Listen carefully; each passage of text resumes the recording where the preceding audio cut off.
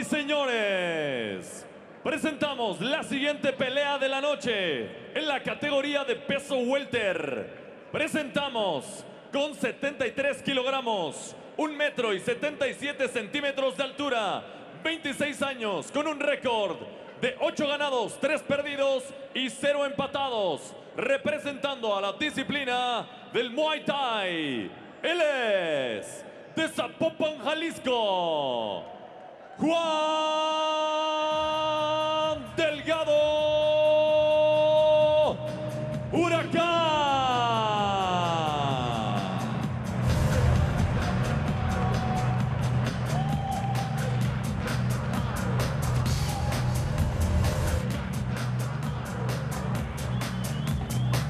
Y del Distrito Federal, con 74 kilogramos, una estatura de 1 metro y 81 centímetros de altura, 21 años, con un récord de 4 ganados, 2 perdidos y 0 empatados, representando a la disciplina del Galvan Combat System.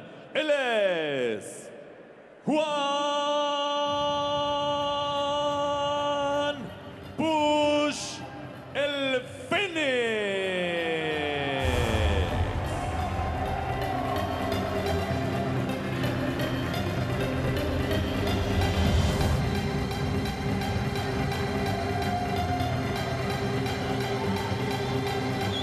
El referee de esta pelea, el profesor Gerardo Arrechea.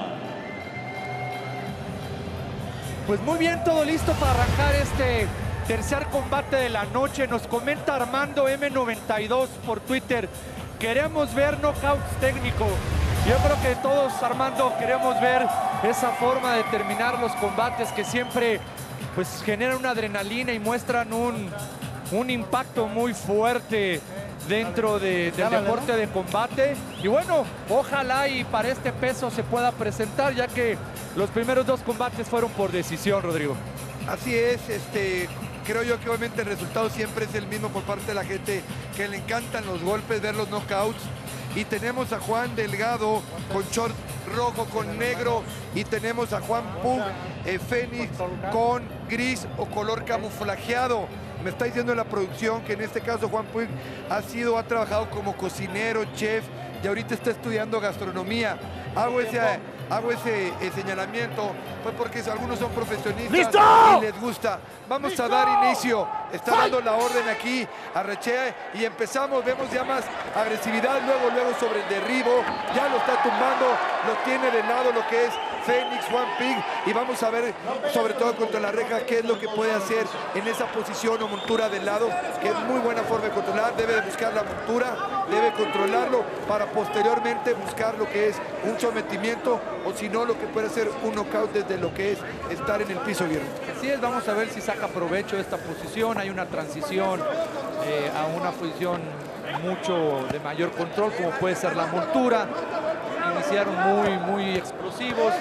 Ya en esta posición va a tratar de mantener un poquito la ventaja Juan Puig de, de la montura de lado, aunque muy buen escape del codo. Ha utilizado Juan Delgado una buena técnica para poner en la guardia al Fénix. Eh, realmente cuando uno esté en el piso, si tiene un oponente más grande o más pesado, si estamos hablando de defensa personal o dentro de lo que viene siendo la, la pelea, es mejor tener, si estás en el piso, a tu oponente dentro de tus piernas que en cualquier otra posición. A eso lo conocemos como la guardia y que aquí precisamente el Fénix acaba de pasar. A esto le llamamos un pasaje de guardia y bueno, puede sumar obviamente un control y buscar una transición a una mejor posición. Así es, ahorita que mencionamos en la pelea pasada, Guillermo, acerca de, de lo que es la agresividad y a veces lo que las tarjetas deben de determinar para, para decir una pelea. Este, en Jiu-Jitsu o en torneos se conoce lo que es el proponer, el proponer, el estar yendo, atacando. Veíamos en la pasada cómo buscaba el derribe. Aquí estamos viendo cómo Fénix no deja de estar atacando. Aunque lo tiene en posición de montura, no ha habido golpes, no está dejando de buscar el siguiente posición. Como estamos viendo aquí en la espalda, estamos viendo el poder meter los ganchos o los hooks en contra de Juan Delgado, el huracán y vamos a ver si logra. Ahí estamos viendo que metió las dos piernas. Acaba de hacer una guardia por atrás con cierre de triángulo Y aquí lo más común que un peleador busca, y veremos si Fénix de Galvan con Batista logra, es hacer la famosa técnica del mataleo que lo está buscando, está buscando lo que es el sometimiento. Ahí vemos al referee Arrechea muy pendiente y, veremos si lo logra eh, concretizar Guillermo. Así es, es un estrangulamiento directo por la espalda lo que está buscando el Fénix, una de las técnicas de sometimiento más famosas para terminar un combate, tanto en defensa personal como en los en las peleas de artes marciales mixtas o aquellas peleas famosas de valetudo que se originaron en Brasil hace algunos años.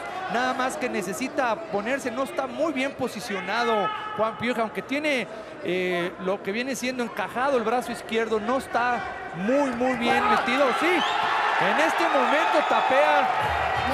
Y estábamos, ahí estábamos viendo que sí, sí entró estaba yo mencionando precisamente que necesitaba hacer un ajuste en la posición y sorpresivamente Juan Delgado tapea. Así es, la pues cámara no nos dio un buen ángulo. A ver si la repetición podemos ver el tapado con la expresión de la cara de que haya entrado.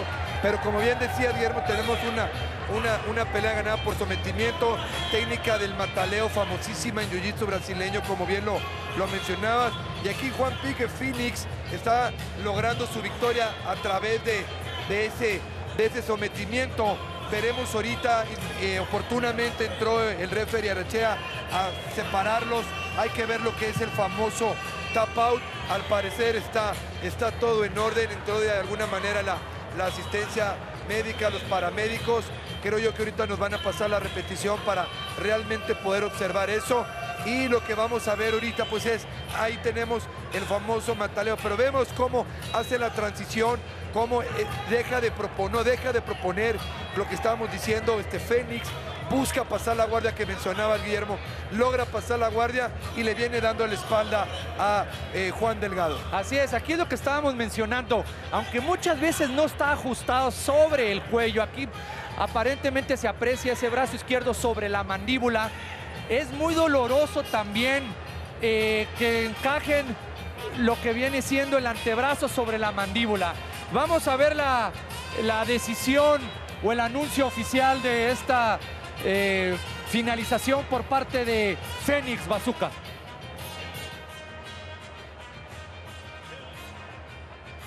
Bueno, bueno.